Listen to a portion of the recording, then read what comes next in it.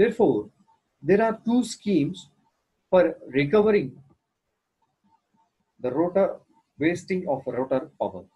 That is nothing but the Scherbius drive and also Kramer drive.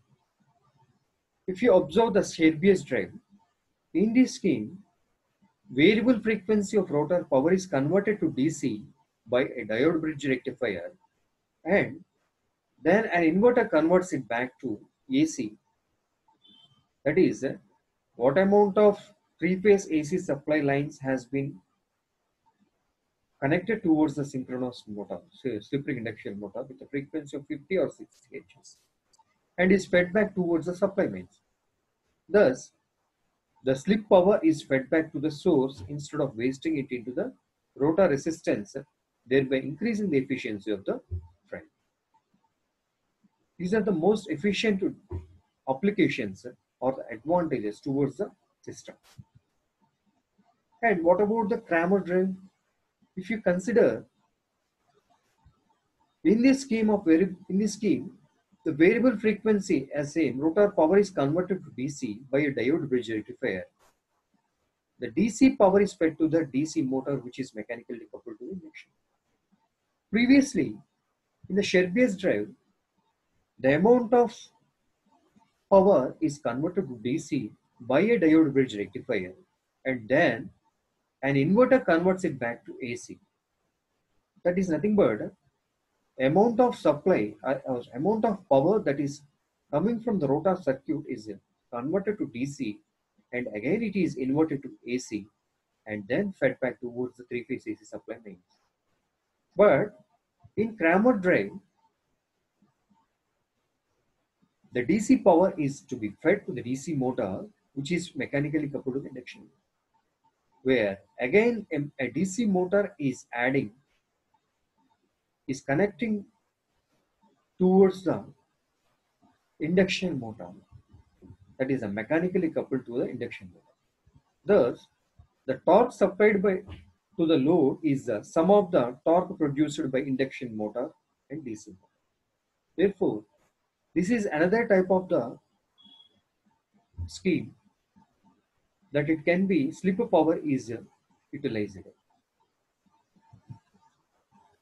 Here, in brief, if you observe the Scherbius drive system, the Scherbius system classifies conventional Scherbius system and static Scherbius system. Conventional Scherbius system, if you observe, in this system, the recovery scheme is done by feedback path. The output of the three-phase induction motor is connected to the DC motor by coupling them to the mechanical power into DC motor. Is converted to into again electrical power and fed it to an induction generator. This is a huge system. It's not simple system. That is a conventional method. Different types of motors which are used and again amount of power that is getting from the system is fed back towards the three-phase AC supply. If you observe the block diagram,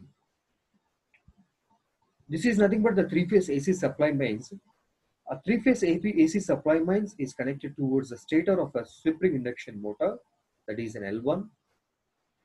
And rotor circuit, if you observe, a rotor is an L2, which is connected three-phase distributed winding is the same of the stator. The three wires or three terminals connected from rotor circuit towards the slip rings, that is nothing but a rotary converter we are using here that is nothing but rotary converter.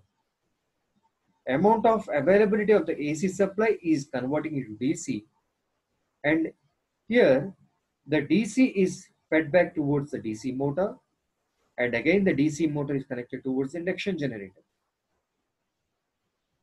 By, while you adding an induction generator that generates amount of supply that which is equals to the three-phase AC supply system. That is, if you consider it 440 volts of a 50 hertz supply frequency, as the same, it can be generated at the same value of the three-phase AC supply mains, whichever is connected towards the stator of the slip induction.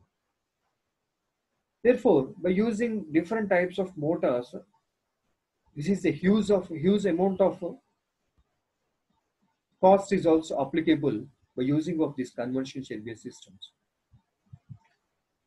For the static Scherbius drive system, these type of systems, we directly use a diode bridge rectifier. That is, in place of a rotary converter, we are using a diode bridge rectifier and and also a thyristor bridge inverter is also we are using. And these type of drives can be applicable for subsynchronous applications, speed applications. That's why we call it as a subsynchronous cascade drive. When induction motor is operating at slip frequency, the rotor slip power is rectified by the diode bridge rectifier. The output of rectifier is fed to inverter three-phase bridge again. The output is fed back towards supply lines with the help of a transformer. In previous conventional Scherbius drive system, were used DC motors and also induction generators. But here, in a static Scherbius drive system, any rotary equipments or rotary machining parts, converting parts are not using here. We are using the static equipment that is the diode bridge rectifier and also thyristor bridge inverter circuit by using of these type of a systems, we are fed back the supply, supply voltage towards the three-phase AC supply lines using of a transformer. This diagram shows the static Scherbius system.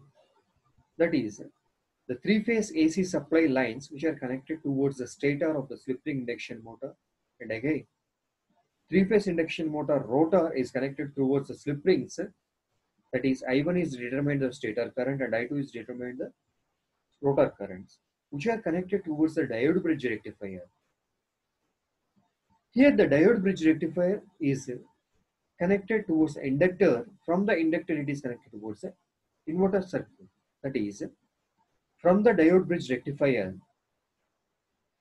amount of output voltage or rectified voltage which we are getting is a VD1 voltage. It is giving towards the inverter circuit as an input that is considered as a V1. Filtered output of a DC is feeding fed back towards the inverter. And the inverter operates operates and it is converting into AC. What about amount of uh, availability of the DC input is converting into or inverting into AC supply. And here we are using a transformer. The amount of voltage is to be stepping up towards the required voltage towards the three-phase AC supply lines.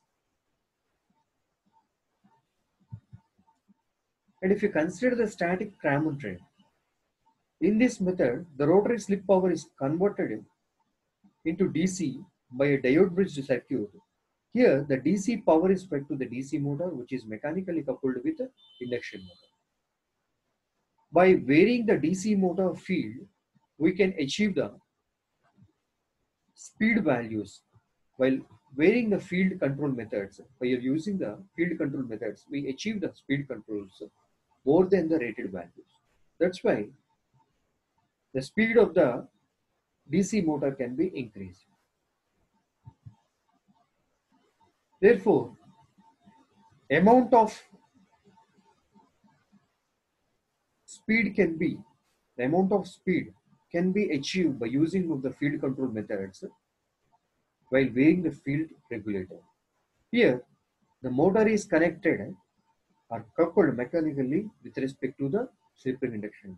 Therefore, by using of the static Kramer drives, static Kramer drives, the torque is to be, total load torque is to be shared by the slip ring induction motor and also the DC motor. If you observe the modified static Kramer drive, that is, the static Kramer drive system is modified by placing a commutatorless DC motor instead of DC machine, of conventional DC motor. The DC motor consists of synchronous motor fed by load commutator inverter The speed is controlled by a field current or a field regulator. And this is nothing but the modified static Kramer drive. The three-phase AC supply, again, it should be same connected towards the slip ring induction motor. That is the mechanical power supplied by the slip ring induction motor, the PM. And also, in place of the DC motor, we are using a synchronous motor. Here, amount of slip power that is recovered from the rotor circuit is connected to the converter circuit and is inverted using of a bridge circuit of inverter and is connected towards the synchronous. Previously, we are using the DC motor to share the load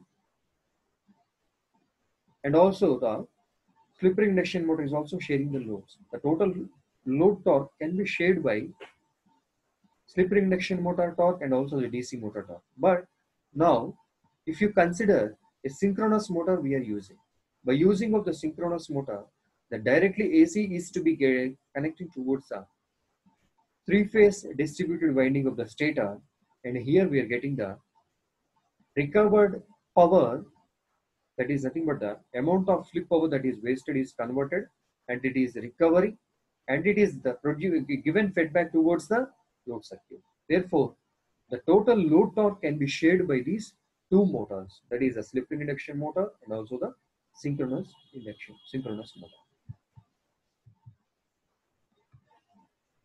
Thank you. And next onwards, we discussed about the synchronous motor drives.